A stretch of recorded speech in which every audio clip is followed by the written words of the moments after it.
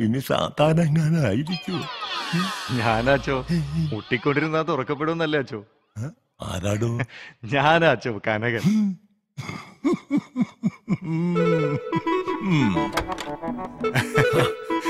എടാ കള്ളത്തമ്മടി അടിച്ചിട്ട് ഈശോമിശേക്ക് സ്തുതിയായിരിക്കട്ടെ ഇപ്പോഴും എപ്പോഴും സ്തുതിയായിരിക്കട്ടെ വാ.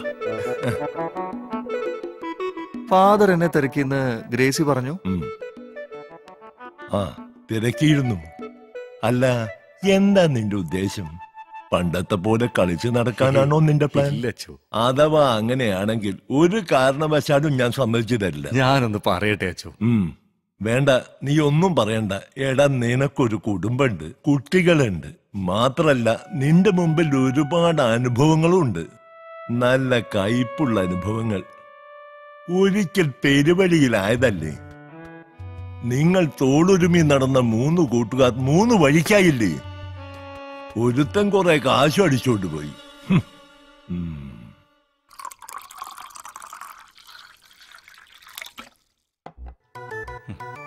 കഴിഞ്ഞു. ഇല്ല പകുതി ആയിട്ടേ ഉള്ളൂ. എന്താ നിനക്ക് വേണം? വെള്ളമല്ല അച്ചോ. ഉപദേശം. ഉം. അത് ശരി. ഇവിടെ ഇരിക്കെ. ഇന്നത്തോടെ നിന്റെ സിനിമാപ്രാന്തം ഞാൻ തീർക്കും. തീർത്തിട്ട് ഞാൻ വിടൂ. അച്ചോ എന്റെ കുട്ടിക്കാലം മുതലുള്ള ആഗ്രഹ സിനിമ. ഞാൻ ഗ്രേസിയെ കെട്ടുന്നതിന് മുമ്പേ ഉള്ള ആഗ്രഹം അച്ചു. അത് അവൾക്ക് നന്നായിട്ടാണ് അയക്കോ അഭിനയമോ സംവിധാനമോ എന്ത് വേണേലും. പക്ഷെ ഇത് കാശ് മുടക്കിയുള്ള കളിയല്ലയോ ആ. അച്ഛന് സിനിമയെ കുറിച്ചൊന്നും അറിയാൻ പാടില്ലാത്തോണ്ട് എങ്ങനെയൊക്കെ പറയണേ? ആർക്ക്? എനിക്കോ കനക. എന്നെ കുറിച്ച് തനിക്ക് വല്ല കുന്തോ അറിയോ? അതൊക്കെ വേണോ അച്ചോ? എല്ലാം വിശദമായി ഞാൻ പറഞ്ഞുതരാം. ഫാദറിനെ കുറിച്ച് വീഞ്ഞുകൊണ്ട് വരുന്നുണ്ട് എടുക്കട്ടെ.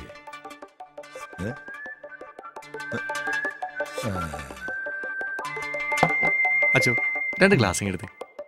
എന്താടോ? രണ്ട് വേണം ഒന്ന് പോരെ. ഓ അപ്പൊ അച്ഛന് വേണ്ടേ? അല്ല എനിക്ക് മാത്രം പോരെ? ഓ അങ്ങനെ. സിനിമ വിറ്റ്. അങ്ങനെ. അച്ചോ കുറിക്കാനൊന്നുമില്ലേ? കുറിക്കാൻ പേനും പേപ്പറാ മേശപ്പുറത്തുണ്ട്. അതെടുത്തോ. അച്ചോ കുറിക്കാനല്ല കുറിക്കാൻ. ഇങ്ങനെ. ഇപ്പൊ വന്നു.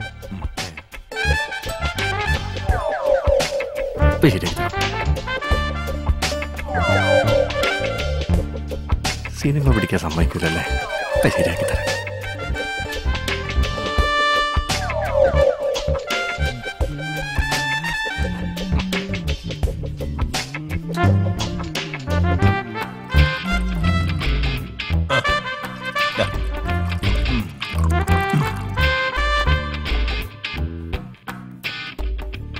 അണ്ടിപ്പരിപ്പാ ഇതൊക്കെയാണല്ലോ അച്ഛൻ കഴിക്കണേ. ചുമ്മാതല്ല. പോവാടാ.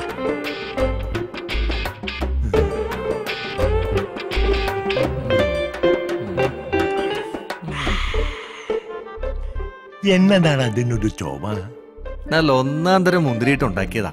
ആന്നോ. എന്നാ കുഴപ്പമില്ല.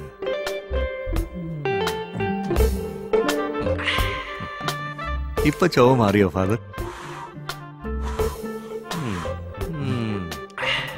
മാറി വരുന്നുണ്ട്. അച്ചോ അപ്പൊ ഞാൻ പറഞ്ഞു വരുന്നത് എന്താന്ന് വെച്ചാ വേണ്ട നീ ഒന്നും പറയണ്ട. ഞാൻ പറയുന്നത് നീ അങ്ങ് അനുസരിച്ചാ മതി.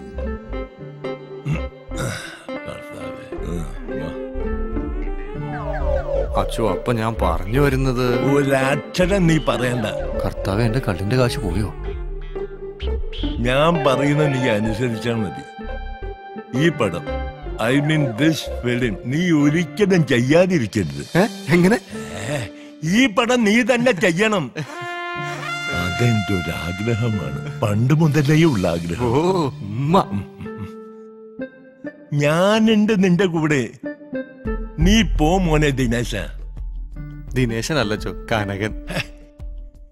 എടോ കനക. ഞാനൊരു സുപ്രഭാതത്തിൽ അച്ഛനായതല്ല സെമിത്തേരിയിൽ പഠിക്കുമ്പോ സെമിത്തേരി തെറ്റി തെറ്റി സെമിനാരിയിൽ പഠിക്കുമ്പോ മതിൽ ചാടി ഒത്തിരി സിനിമയും ഷൂട്ടിങ്ങും കണ്ടിട്ടുള്ളതാ പിന്നൊരു കാര്യം ഷൂട്ടിംഗ് നമ്മുടെ ഇടവകയിലാവണം ആ വിജയ് അത് നമുക്ക് ശരിയാക്കാം.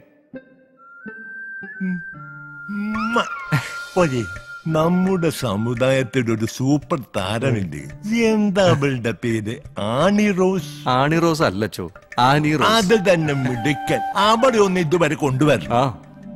എന്തിനാ ഫാദർ? അവിടെ ഒന്ന് കുമ്പസാരിപ്പിക്കണം. അതെന്റെ ഒരു ആഗ്രഹം. അത് ഞാൻ ഏറ്റു. ഗോഡ് ഇസ് ഗ്രേറ്റ് നീ നന്ദിയുള്ളവനാ. കർത്താവ് നിന്നെ കാക്കും.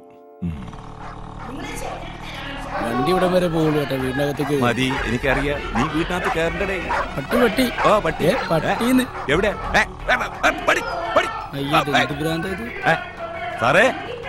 ഓ പഴയതുപോലെ തുടങ്ങി ലഹള. ആ സാധനത്തിന് അവിടെ നിന്നല്ലേ കൊണ്ടുവന്നത്. അപ്പോഴേ പറഞ്ഞു വേണ്ട വേണ്ട സാറേ. സാറേ. പോ,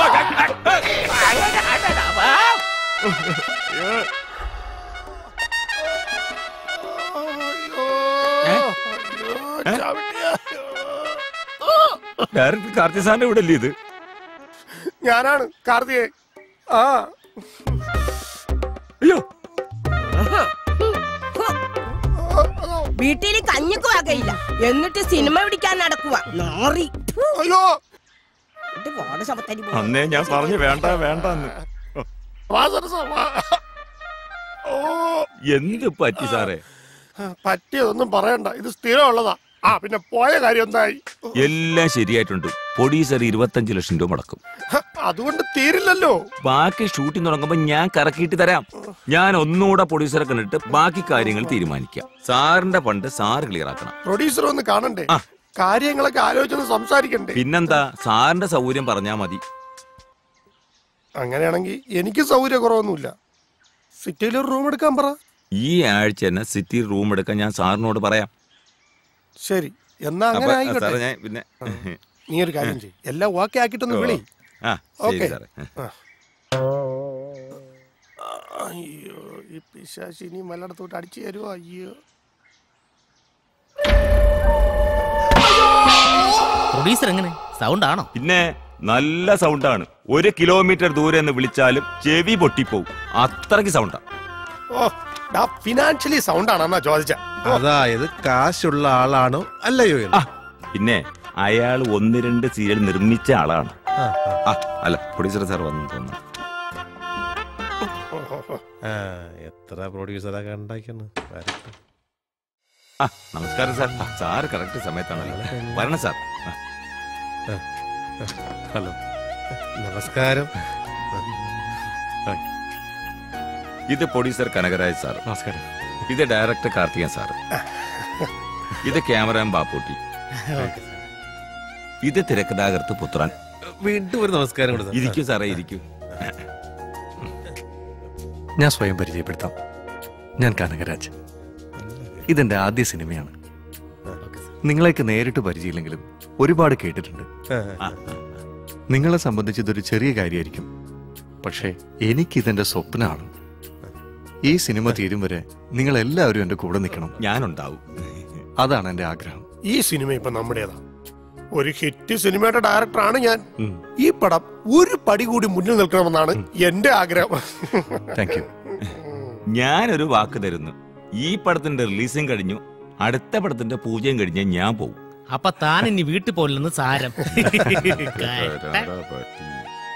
അപ്പൊ കാര്യങ്ങളൊക്കെ പറഞ്ഞ പോലെ. പൂജയുടെ ഡേറ്റ് ഫിക്സ് ചെയ്തു. ഓ. അപ്പൊ ഞാൻ ഇറങ്ങട്ടെ. ആ ശരി സാർ. ബൈ. Okay sir. ശരി പ്രൊഡ്യൂസർ സൗണ്ട് ആയതുകൊണ്ട് ഇരിപ്പനാവില്ല നടക്കും. ഓക്കേ, ആ, ഓക്കേ, ശരി സാർ. ഓക്കെ.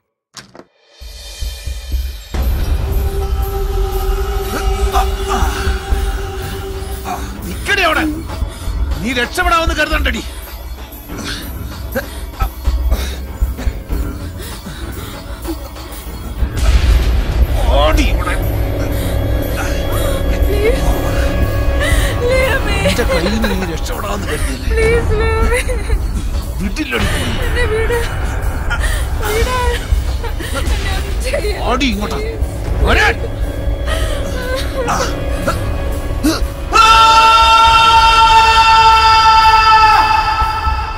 അയ്യോ ഈശോയെ ഞാൻ നിലത്ത് മെത്തയിടാൻ മറന്നു പോയല്ലോ. മനുഷ്യനെ കൊണ്ട്. ഇന്നെന്താ വീഴാൻ ഇത്ര വൈകിയെന്ന് വിചാരിച്ചതേളൂ കിടക്കും മനഃപൂർവം അല്ലല്ലോ അനി. സ്വപ്നത്തിലല്ലേ? അല്ല ആരായിരുന്നു അന്നത്തെ നായിക? ഇവളാണെന്ന് പറയാം. ഇല്ലേ പണി കിട്ടും. സത്യായിട്ട് നീയായിരുന്നു? ഓ പിന്നെ തൊട്ടടുത്ത് കിടന്നിട്ട് തിരിഞ്ഞു നോക്കാത്ത ആളാ. സ്വപ്നത്തിൽ കൊഞ്ചാൻ വരണം. ഒന്ന് ഓഫീസിൽ പോകാൻ നോക്ക് മനുഷ്യ. അമ്മേ അമ്മേ എനിക്ക് പോകാൻ സമയമായി. അച്ഛൻ വീണ നോക്കി നിൽക്കാതെ ബ്രേക്ക്ഫാസ്റ്റ് എടുക്ക്. അച്ഛൻ വീണടാ. ഇതെന്നുള്ളതല്ലേ ഉള്ളതല്ലേ?